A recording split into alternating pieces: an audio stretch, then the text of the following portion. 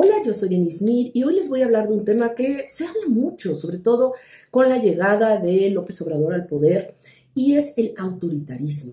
Efectivamente, hace mucho que no veíamos un personaje con estas características en nuestro país y hoy lo estamos padeciendo. Pero, ¿qué es el autoritarismo? ¿Qué, ¿Cómo es esta dinámica autoritaria? Yo creo que es importante que lo conozcamos. Pues bien, el autoritarismo funciona como un espejo.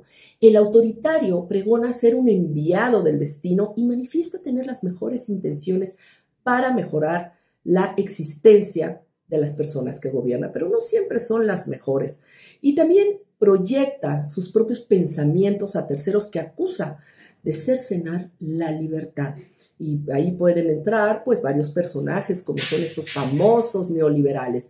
Y es donde surge la pregunta, ¿puede el autoritarismo nacer de la democracia? ¿Es la necesidad de seguridad un discurso efectivo de los gobiernos autoritarios o su propia perdición? La pregunta que muchos analistas políticos se hacen es, ¿cómo muere la democracia? Pero hasta el momento sobre este tema hay más dudas que certeza. La base del totalitarismo que lleva al ser humano a cometer actos de una maldad extrema exclusivamente puede ser posible a través de hechos triviales y banales, donde quien los comete adormece la capacidad de crítica. Esto significa, por ejemplo, que hoy estamos viendo cómo han muerto los niños con cáncer poco a poco nos han llevado a acostumbrarnos a estos grandes crímenes, a estas grandes em, y terribles eh, posiciones en donde pues ya pocos participan y pocos se sorprenden. El rol de la ideología, por supuesto que tiene que establecerse una ideología, pretende establecer con una narrativa un mecanismo que lleva a las personas a renunciar a su propia forma de pensar y de vincularse con nosotros. Los totalitarismos implementan una falsa idea de seguridad porque se nutren de enemigos inventados, ya lo decíamos, de estos neoliberales y este, conservadores, y su avance sobre las instituciones siempre recuerda un espectáculo donde prima la victimización. Ellos siempre van a ser víctimas de los que se resisten a sus cambios y todo el daño que causan, las víctimas que generan, van a ser también estos enemigos a los cuales van a culpar de la reacción de la gente y se van a poner en una postura de supuesta vulnerabilidad.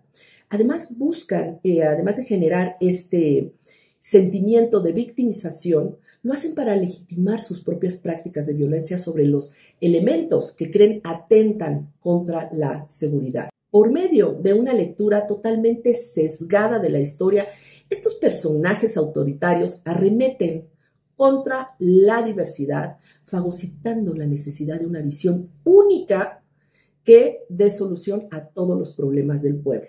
O sea, no hay otra visión más que lo que ellos quieren implantar puede articularse entonces esta visión única en un país tan plural, en este caso México, por medio del temor, que responde a un diseño político del peligro? Hay un malo a cual se tiene que combatir, es decir, el temor y la desestabilización política.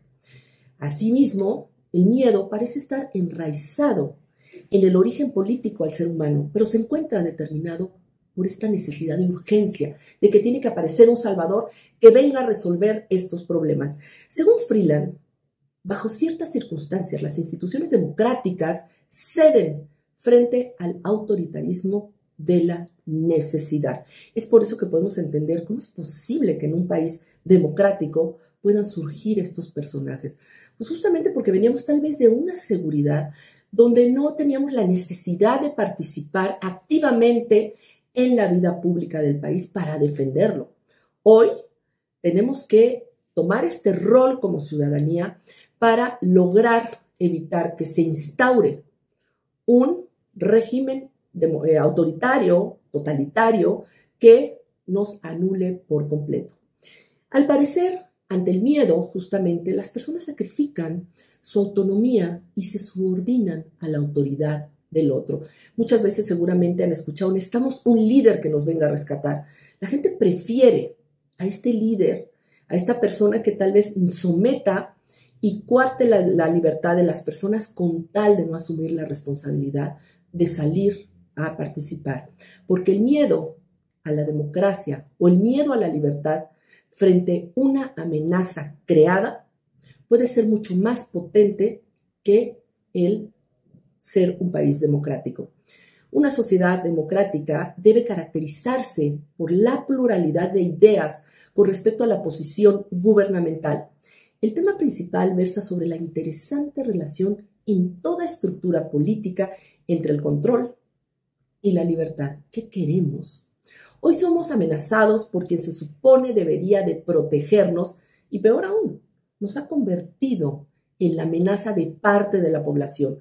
Los que no estamos con él somos esa amenaza que toma como pretexto para justificar las violaciones a nuestros derechos, la violación también a la ley e irse contra nosotros.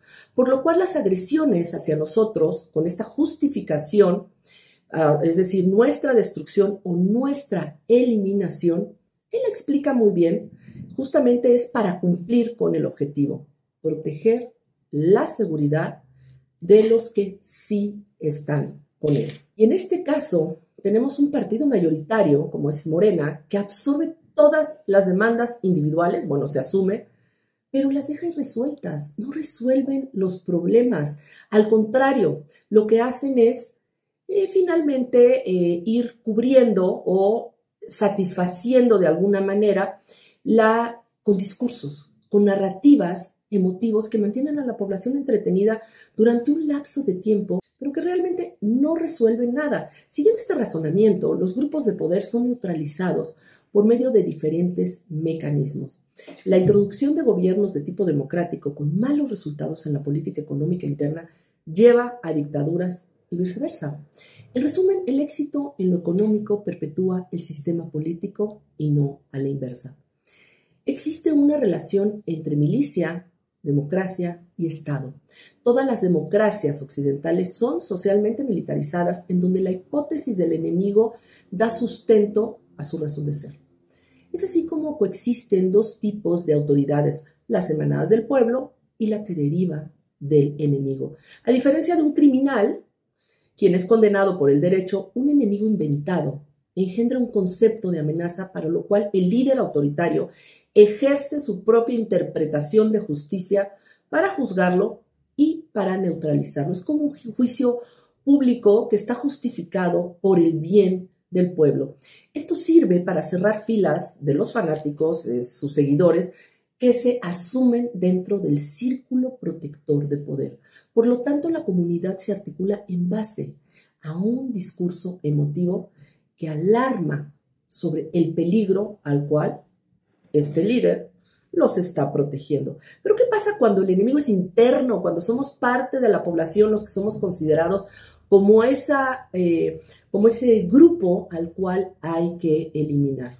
Para responder esta pregunta es necesario adentrarnos a las profundidades del miedo político y sus alcances, no solo en las dictaduras, sino en los regímenes democráticos. Llegando a este punto, cabe una nueva pregunta. ¿Es el miedo político el fundador del orden social? El premio Nobel de Literatura, Soyinka, confirma que el miedo es funcional al poder, pero no lo constituye como tal. Es su naturaleza de autosuficiencia. El poder emplea al miedo como una metodología para subsistir. La persona se debate entre el miedo a ser controlado y el propio ejercicio de su libertad. Partiendo de esta idea que el poder es una mutación mortal de la ambición, cualquier grupo o persona puede transformarse en un agente de poder y peor aún, en un personaje autoritario. El miedo entonces puede ser definido como una respuesta neurótica frente a la posibilidad de la muerte. Es la seguridad entonces la que justifica la guerra, estos actos violentos como contra la población e incluso hacia la población que debe de proteger. El régimen autoritario se proclama heredero del pueblo y arguye que la situación ha sido provocada por potencias desestabilizadoras. Por último, la mentalidad autoritaria busca constantemente por imposición del temor crear un estado de emergencia constante que revele no solo la efectividad de su gobierno en eternos contextos de crisis, sino que permite introducir medidas que restringen también la movilidad y las libertades de la población. Y ya lo vemos con este gobierno. Espero que les haya servido esta información. Voy a estar hablando constantemente no solo de los temas de autoritarismo, también la derecha, la izquierda. Y algo que me encanta es eh, hablar de la psicopatología, de esta enfermedad mental que pueden llegar a tener muchos de los líderes que nos gobiernan y tomar decisiones totalmente erráticas con un lenguaje que a veces no comprendemos y todo esto obedece justamente a sus trastornos mentales. Pues es un gusto estar con ustedes. Muchas gracias.